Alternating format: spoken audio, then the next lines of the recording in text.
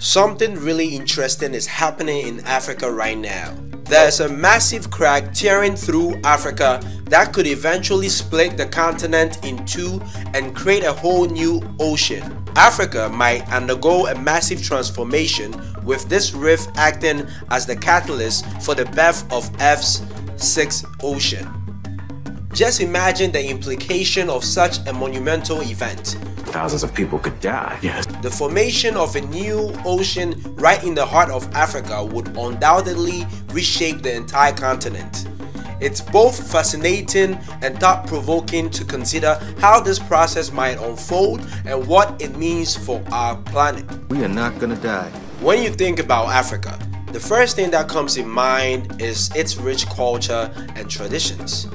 It's like a melting pot of different customs and beliefs, and it's fascinating to see how they all coexist. The continent is popular for its rich culture, various wildlife, natural wonders, and beautiful landscapes. Africa, the second largest continent on Earth, has a landmass covering approximately 30.2 million square kilometers. Within its borders, there are around 54 countries. But Africa may have less than 54 countries soon. According to geographical studies, Somalia and a significant portion of Ethiopia, Kenya, and Tanzania could eventually break away from the African continent. These regions might come together to form a new landmass, essentially creating a new continent in the distant future. Countries along the southeastern coast would become a giant island, creating an entirely new sea from Ethiopia to Mozambique. Africa has been slowly splitting apart along its eastern side for a long time, stretching from the Red Sea in the north to Zimbabwe in the south. This process has already covered a distance of about 6,000 kilometers. Back in 2005, a noticeable crack emerged along the desert of Ethiopia and has been widening at a rate of about 1 inch per year. This is a result of the Eastern African Rift system. The Eastern African Rift started forming around 22 million years ago and is still very much active today.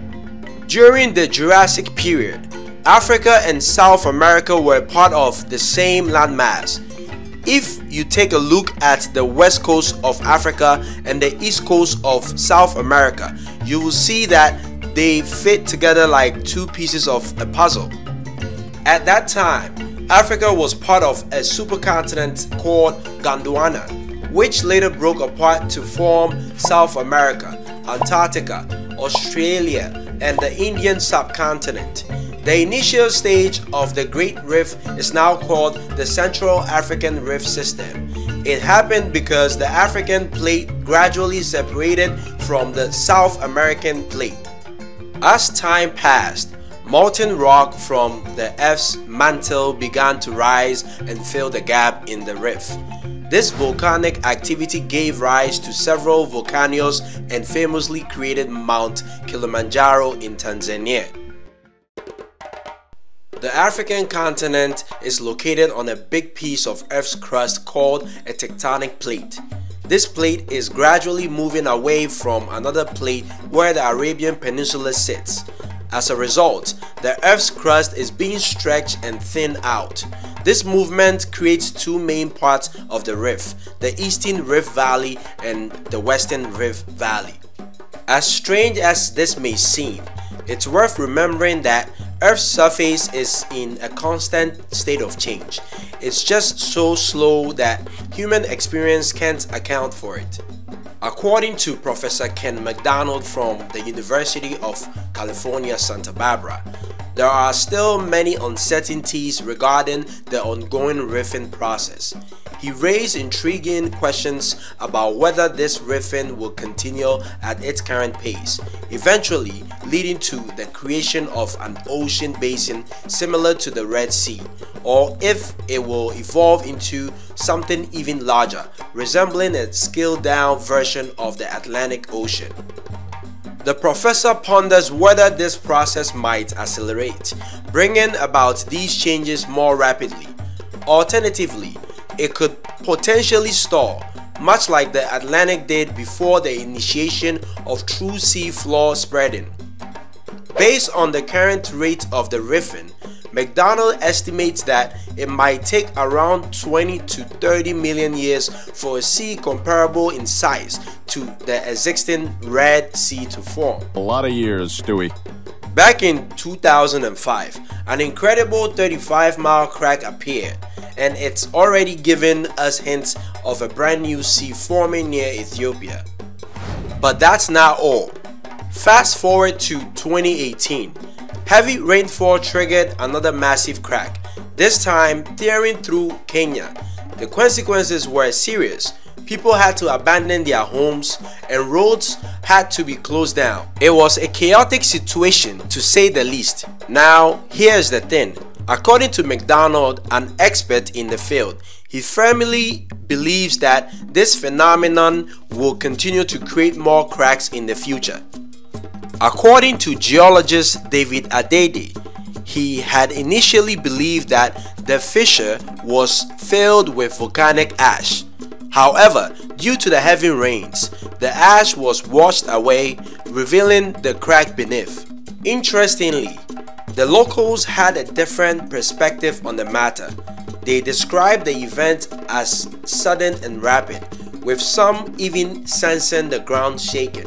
While we won't witness the actual tearing apart of Africa for another 5 million years, there are some intriguing predictions about what might happen in the distant future.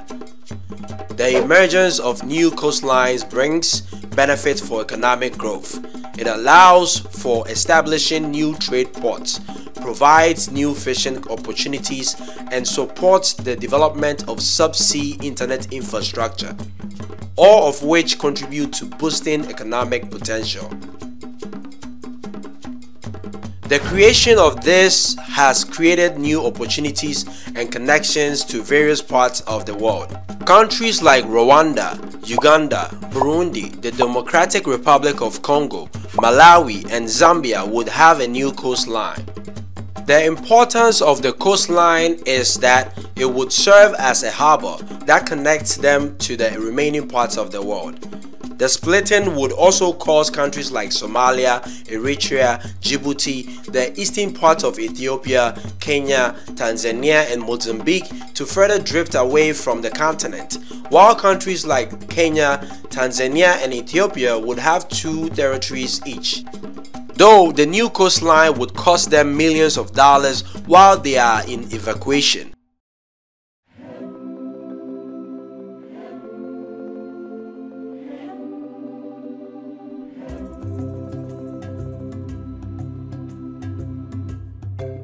It has its advantages, including the reduction in international logistical expenses and the creation of shipping and fishing industries that previously didn't exist.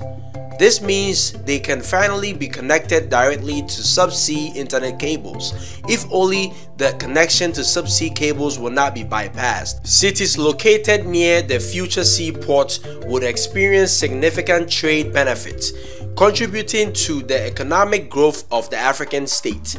This new trade route would facilitate the exchange of goods, further enhancing commerce. The presence of the Suez Canal would play a crucial role in transforming Africa into a regional economic powerhouse, facilitating increased imports and exports to countries like Ethiopia, Kenya, Uganda, Zambia, and extending all the way down to South Africa.